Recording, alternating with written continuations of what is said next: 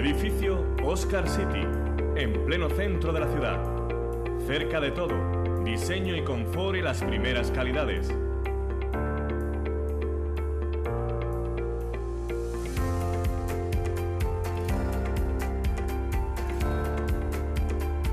Cocinas amuebladas. Últimas viviendas disponibles. Infórmate y reserva tu vivienda en Mar Real Estate en calle Real 22B o llámanos al 956-042-233 o 685-511-266. Recuérdalo, edificio Oscar City, diseño y confort en pleno centro de la ciudad, con la garantía de la constructora Iposa.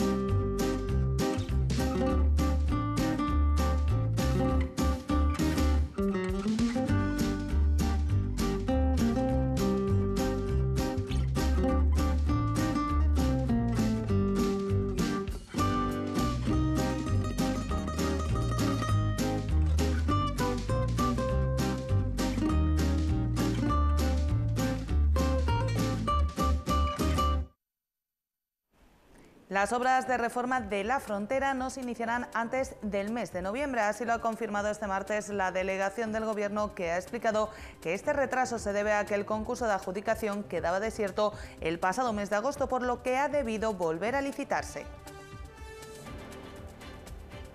Se llama Mamadou Diallo y hace cuatro años salió de su país, Guinea-Conakry, para buscar una vida mejor. Con 17, ahora se encuentra realizando las prácticas de sus estudios de cocina en la conocida cafetería Alhambra. Confiesa a Ceuta Televisión que su objetivo es ser militar de empleo.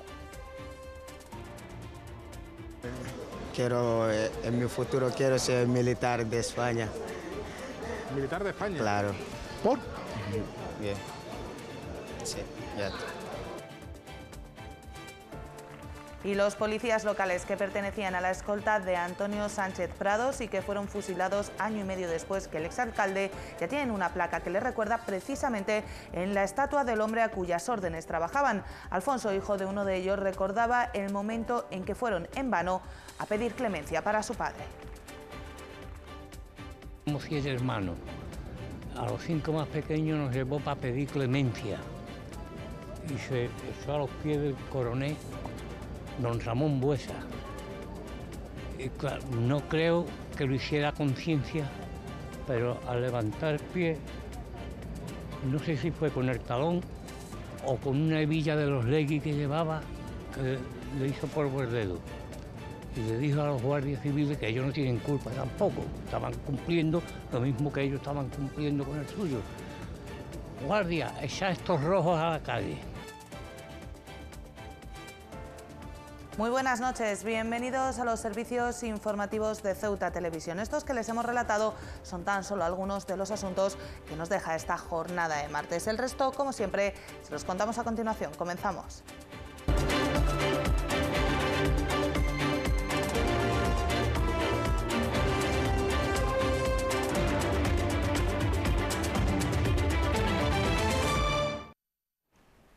Las obras de extrema urgencia de la frontera no se iniciarán antes del mes de noviembre, así lo han confirmado fuentes de la delegación del Gobierno a Ceuta Televisión después de señalar que el concurso de adjudicación de las mismas quedaba desierto el pasado mes de agosto, lo que obligaba a iniciar una nueva licitación que se solventará en los primeros días del mes de octubre. A perro flaco todos son pulgas. Este refrán podría aplicarse perfectamente a la situación de las infraestructuras fronterizas de nuestra ciudad. Y es que un nuevo escollo se ha interpuesto en el camino hacia una frontera del siglo XXI, o al menos una frontera mejor dotada de infraestructuras que la que tenemos actualmente. Este escollo no es otro que el hecho de que durante el pasado mes de agosto la licitación de las obras de extrema urgencia previstas en la misma quedara desierta. Un revés que ha obligado a retrasar el inicio de estas actuaciones que tal y como han informado fuentes de la delegación del Gobierno, no se producirá antes del mes de noviembre. Y es que, han recordado las mismas fuentes, la licitación de nuevo de las obras no quedará solventada hasta principios de octubre, con lo que las actuaciones tardarán aún cerca de dos meses en iniciarse. Unas actuaciones anunciadas hasta la saciedad, desde la intención hasta la puesta en marcha, sin que hasta el momento la frontera de Ceuta se haya visto dotada de los medios necesarios que requiere ser una de las dos puertas de Europa en África. El retraso, como les hemos contado en las últimas semanas, tiene además daños colaterales. Desde el mes de julio se encuentra paralizado el porteo de vehículos. Fuentes de la Administración señalaban entonces la necesidad de que este tráfico no siguiera adelante para el efectivo desarrollo de las obras de mejora, unas obras que sin embargo aún tardarán dos meses en empezar sin que se haya revocado la orden que impide este tipo de porteo. Una cuestión sobre la que los empleados de los negocios relacionados con el porteo ya protestaban hace algunas semanas, incluso a reunirse con la delegada del Gobierno sin obtener ningún tipo de solución. En definitiva, un nuevo retraso en la aspiración de que Ceuta cuente con una frontera acorde a los tiempos que vivimos. Y el drama de la inmigración se reproduce a diario en la zona del estrecho. Aunque nosotros no lo veamos, aunque no llegue a Ceuta, cerca de 400 personas han muerto o desaparecido tratando de llegar a nuestras costas en el último año y medio, según los datos proporcionados por el propio Gobierno de España. El drama de la inmigración se reproduce a diario aunque nuestros ojos no lo vean, aunque Ceuta no sea el destino, aunque las embarcaciones no partan de nuestras costas. Lo cierto es que son muchos los que ansían alcanzar la costa europea, gran parte de ellos la costa peninsular, y escenas como las que les mostramos en nuestro vídeo se repiten día a día. Un joven tiene que ser rescatado del mar por un buque de pasajeros. Él salva la vida, otros muchos no llegan a esta situación. Y es que el Gobierno de España ha cifrado en 400 las personas que durante 2018 y los primeros seis meses de 2019 han muerto o desaparecido tratando de alcanzar las costas españolas. Así lo ha hecho saber en la respuesta a una pregunta presentada por el senador de Junts per Catalunya, Josep Lluís Cleires, citando datos facilitados por Salvamento Marítimo. Las cifras se corresponden a emergencias registradas tanto en la zona de rescate española como en las de Marruecos y Argelia. Fuera de la estadística quedan aquellas situaciones en las que no se ha producido llamada de emergencias y han pasado totalmente desapercibidas. Concretamente, los datos ofrecidos por el gobierno socialista señalan que en 2018 se contabilizaron 319 fallecidos y desaparecidos, mientras que en los primeros seis meses de este año las cifras señalan 81 muertes o desapariciones. En definitiva, un drama que no cesa, que sigue generando el dolor de las familias de quienes lo arriesgan todo en busca de un futuro mejor que en muchas ocasiones acaba truncado en el mar Mediterráneo. La visión general que se tiene de los menores extranjeros no, acompañados nos impide ver historias como la que ahora les vamos a contar, la de un joven estudiante de cocina que en estos días realiza sus prácticas en una céntrica cafetería y que quiere ser militar de empleo. Se llama Mamadou Diallo y salió de su país, Guinea Conakry, con tan solo 13 años.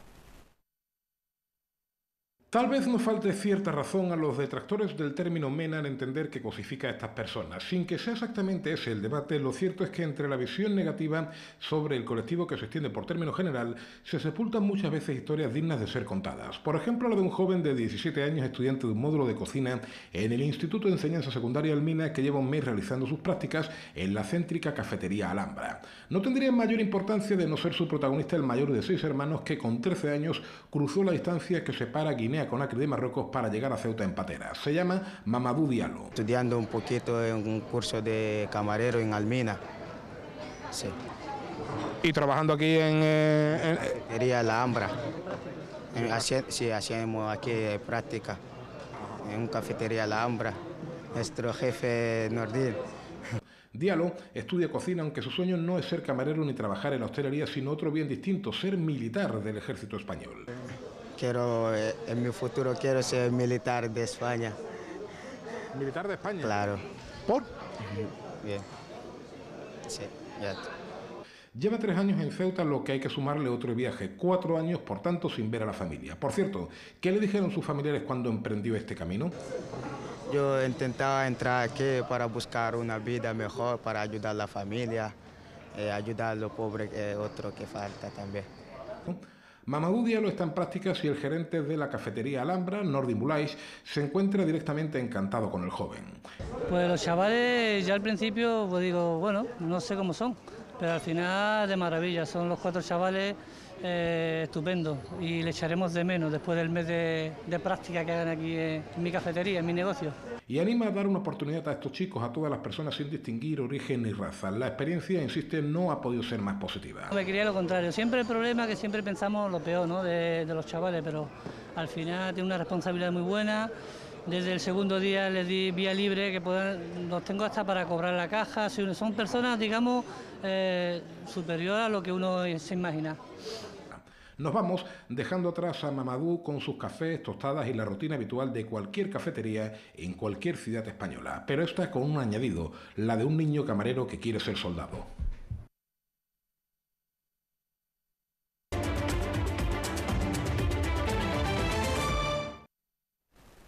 El secretario general del PSOE en Ceuta, Manuel Hernández, ha dado por hecha este martes la nueva convocatoria electoral. Hernández ha explicado que tendría que darse una circunstancia muy sorprendente para que no volviéramos a acudir a las urnas el próximo 10 de noviembre. Además, no ha garantizado que sus candidatos de abril vayan a repetir en esta nueva cita.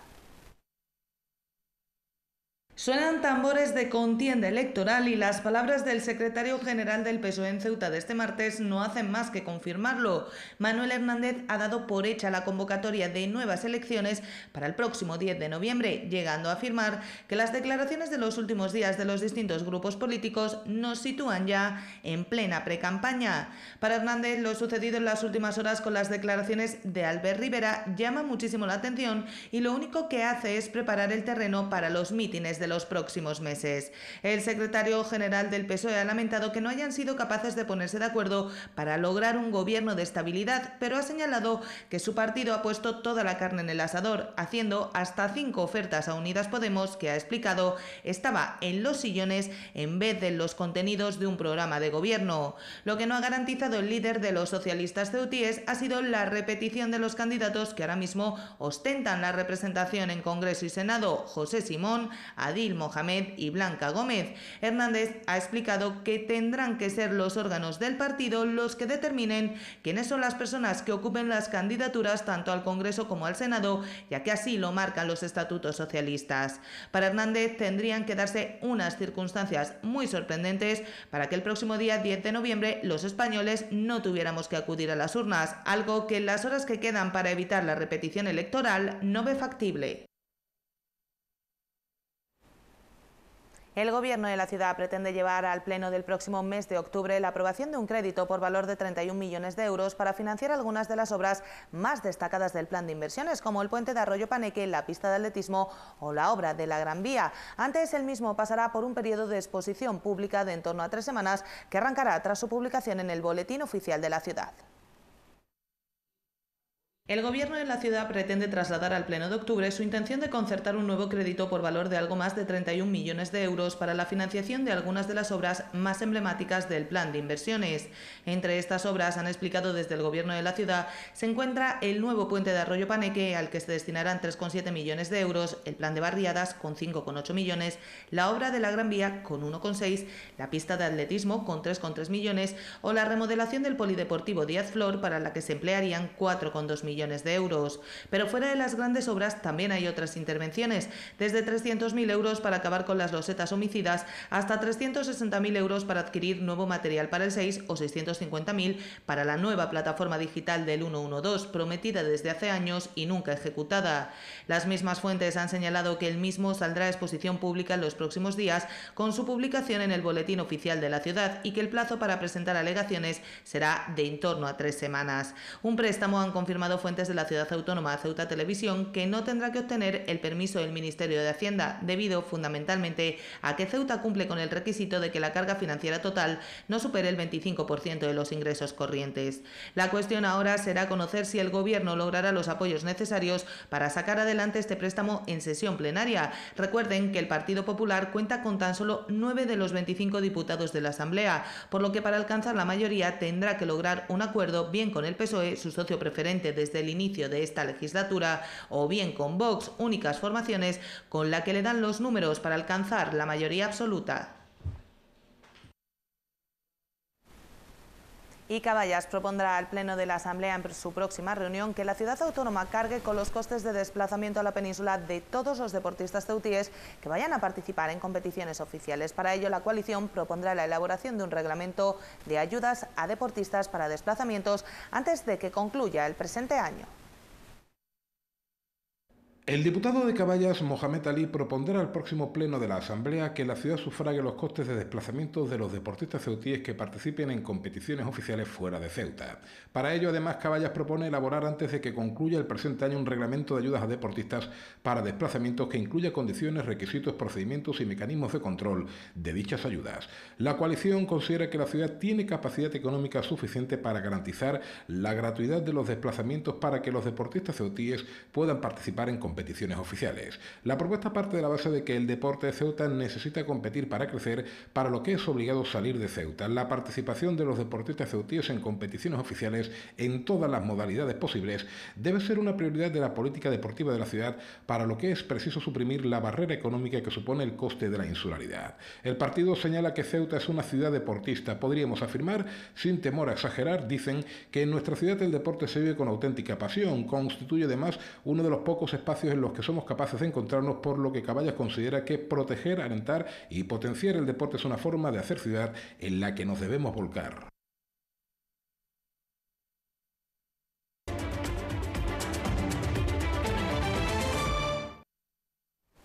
Los actos del 130 aniversario de UGT han tenido en este martes su jornada más emotiva. Se trataba de descubrir dos placas, una conmemorativa de la primera sede del sindicato en la calle Agustina de Aragón y otra en homenaje a los policías locales que pagaron con su vida haber sido escoltas del exalcalde Antonio Sánchez Prados, un acto en el que el secretario general de UGT, Pepe Álvarez, ha recordado a Ascensión Mendieta, una de las referentes de la memoria histórica en España.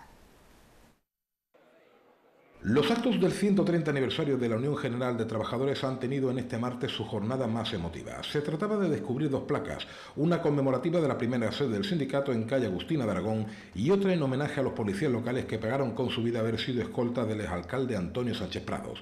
Un acto en el que el secretario general de UGT, Pepe Álvarez, ha recordado a Asunción Mendieta, una de las referentes de la memoria histórica en España. La hija de, de Mendieta, el primer la primera persona que se sacó de una fosa común en Guadalajara, sabéis que no fue la justicia española, que fue la justicia argentina la que ordenó la sumación del cuerpo y hoy justamente enterramos a su hija en Madrid con su padre, como ella quería, eh, con 90 años después de una lucha infatigable. Pero sin duda alguna el testimonio más emotivo de la jornada ha sido el de Alfonso González. Es hijo de Prudencio, nombre que han heredado todos los varones de la familia como homenaje a un agente de la policía local al que ni siquiera pudo salvarle la vida que sus cuatro hijos, niños entonces, acudieran al coronel Ramón Buesa para pedirle clemencia. Como si es hermano. A los cinco más pequeños nos llevó para pedir clemencia y se echó a los pies del coronel don Ramón Buesa. No creo que lo hiciera conciencia, pero al levantar pie, no sé si fue con el talón o con una hebilla de los leggings que llevaba, que le hizo por el dedo. Y le dijo a los guardias civiles que ellos no tienen culpa tampoco, estaban cumpliendo lo mismo que ellos estaban cumpliendo con el suyo. Guardia, echa estos rojos a la calle. El padre de Alfonso, el abuelo de Pedro Caliani, este último lamentaba que su madre no haya vivido para ver el homenaje que en cualquier caso agradece. Un tema, el del abuelo fusilado, del que no se hablaba nunca en su infancia. Vivió aterrorizada casi todo el tiempo y apenas sabía nada. La verdad, todo lo que sé fue por mi tía, mi tía era un poco mayor y ella sí contaba a la familia algo, pero apenas nada, ¿eh? la verdad. Desde hace relativamente poco es cuando empezamos a saber la historia. Minutos después una nueva placa. Está en calle Agustina de Aragón a apenas centímetros de la que recuerda que ahí murió la heroína de los sitios de Zaragoza. Ahí también se ubicó la primera sede de la UGT. La placa tiene un especial simbolismo, como explica el historiador local Paco Sánchez. Recuerda la conferencia con la que la ceutía Antonia Castillo, la primera mujer en colegiarse como médico en España, dio a las mujeres una charla sobre el seguro de maternidad y que le costó ser procesada por participar en actividades políticas. Esta imagen, eh, cuando ella, tras el 17 de julio del 36, tras el golpe militar, eh, en su procedimiento para expulsarla del ayuntamiento, que fue expulsada la doctora Castillo, eh, se, le, se le pone en el procedimiento que estuvo dando un meeting en la Casa del Pueblo, cuando más lejos de la realidad ella no está dando ningún meeting, está dando una conferencia a las mujeres eh, de los obreros. Un edificio que tiene un tercer protagonista al que aún se le debe un homenaje. Nadie mejor que Antonio Escobar representa la tragedia de la guerra civil. Lo sabe bien Sánchez que desliza que el nombre del general podría servir para rotular el futuro acuartelamiento de la Guardia Civil si algún día se construye el nuevo cuartel de la Guardia Civil, que parece ser que hay un proyecto para construirlo allí en la, zona de la acera, pues yo pienso que en ese nuevo cuartel de la Guardia Civil, si no el cuartel en sí, pero que en ese cuartel del nuevo de la Guardia Civil, eh, el general Escobar, el Ceutí, el general Escobar tenga una, un monumento, una placa, tenga algo. La jornada comenzó con un encuentro entre el secretario general de UGT y los presidentes de la Cámara de Comercio y Confederación de Empresarios. La Agenda Cultural de Comisiones Obreras comienza una nueva temporada con una conferencia sobre democracia y cambio climático. La encargada de impartirla será la experta Cristina Monge, doctora en Ciencia Política y profesora de la Universidad de Zaragoza. Comisiones Obreras ha programado para este próximo miércoles la primera cita de su ya clásica Agenda Cultural. Desde el sindicato se está apostando por una lucha encarnizada contra el cambio climático y por ello han elegido esta temática para iniciar el ciclo de conferencias. Como sabéis, la Agenda Cultural de Comisiones Obreras nació hace dos años con un espíritu de, eh, de, debatir libremente sobre una serie de asuntos, una serie de temas que preocupan al conjunto de los ciudadanos. Lo hacemos fuera del ámbito sindical, lo hacemos fuera del, edificio sindical y eh, siempre abierto a toda la ciudadanía. La encargada de impartir la clase magistral será Cristina Monge, doctora en Ciencia Política, asesora de CODES y profesora titular de la Universidad de Zaragoza. Con Cristina Monge que es eh, doctora en ciencia política, asesora ejecutiva de CODES, una fundación sobre ecología y desarrollo, y también es eh, doctora por la Universidad de Zaragoza. La traemos porque creemos que es una persona capaz de darnos una visión bastante global sobre el problema medioambiental que afrontamos como humanidad. Y es que los retos que afrontamos en el siglo XXI como especie requieren de explicaciones y descripciones que nos permitan comprender desde eh, una perspectiva sistémica cuáles son los problemas para poder tener un tiempo de reacción y poder adaptarnos a las consecuencias que realmente van a ser eh, más locales eh, que otra cuestión. Por tanto, consideramos fundamental que haya este tipo de espacios, este tipo de debates dentro de la sociedad para poder concienciar a la ciudadanía y es por ello que invitamos a toda la ciudadanía día a participar en esta actividad de mañana en la facultad. Además de esta conferencia donde arrancará la agenda cultural de comisiones obreras, José Antonio Sainz ha explicado que desde el sindicato están trabajando ya en próximos eventos donde el debate y la confrontación de ideas sobre temas de actualidad serán los protagonistas en las siguientes citas de la agenda cultural que la siguiente actividad que vamos a hacer en el mes de octubre estamos perfilando, vamos a decir, algo, porque todavía no está definido, ¿no? Algo sobre eh, inmigración y fronteras, fronteras de inmigración, que es un tema que también está en la mente de, los ciudadanos. Eh, desde hace ya un tiempo se ha convertido en, un, en el centro un poco de debate eh, la frontera, la inmigración, las consecuencias, eh, los perjuicios y los prejuicios que causa todo ello. ¿no? Entonces estamos preparando algo para el mes de octubre, no os puedo decir fecha, no os puedo decir personas, ni tan siquiera os puedo decir formato. Es la idea que estamos manejando. Con el título Cambio Climático y Democracia, Cristina Monge intentará impartir sus conocimientos a todos los ciudadanos que estén interesados en acudir a la cita este miércoles a las 6 de la tarde en el Salón de Actos de la Facultad de Educación.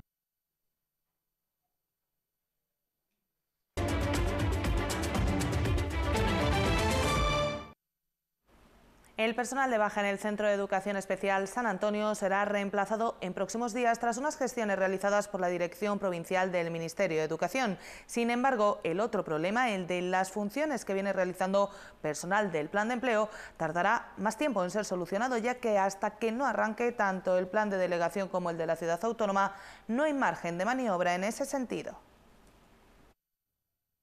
La falta de personal en el Centro de Educación Especial San Antonio ha sido analizada en una reunión de urgencia entre la Dirección Provincial del Ministerio de Educación y el propio equipo directivo del centro. Según ha podido saber Ceuta Televisión, este mismo martes se ha producido una gestión ante el Ministerio de Educación para reemplazar en cuestión de días a dos fisios, un cuidador y un ordenanza que se encuentran en situación de baja. Sin embargo, los problemas de personal distan mucho de estar resueltos. Otras plazas deberán ser cubiertas con trabajadores adscritos a los planes de empleo cuyo comienzo, ni en el caso de Ciudad Autónoma ni en el de Delegación del Gobierno, está claro. Se admite que todos hemos cometido un error como es el de encomendarnos al plan de empleo hasta que este mecanismo nos ha fallado por fuentes ministeriales. Las fuentes consultadas señalan que ni siquiera podemos hacer una gestión ante la ciudad autónoma para que estas demandas sean atendidas con su plan de empleo, puesto que no está claro cuándo va a comenzar a funcionar. Pese a ello, desde la Dirección Provincial se han comprometido a buscar soluciones para atender estas necesidades del centro lo antes posible. El colegio tiene más personal que en años anteriores, cierto, pero no el que sería necesario, se señala a Ceuta Televisión. En próximos días, además, la Dirección Provincial mantendrá una reunión con la Asociación de Madres y Padres del centro para exponerle la situación y tratar de buscar alguna solución imaginativa con independencia de la entrada en funcionamiento de los planes. Silencio como señal de condena y repulsa, una escena que se repite cada vez que se produce un crimen machista en nuestro país y que en esta ocasión vuelve a ser testigo del horror que ha supuesto el triple asesinato que se ha producido en la localidad gallega de Valga. Allí un hombre de 45 años ha asesinado a tiros a su exmujer, a su exsuegra y a su excuñada. La localidad está conmocionada y el resto del país también. Como es habitual en estas ocasiones, recordarles que ante cualquier síntoma de violencia machista tienen a su disposición el teléfono 016, que es gratuito y no deja rastro en la factura, pero que sí debe ser eliminado de la lista de llamadas de su terminal.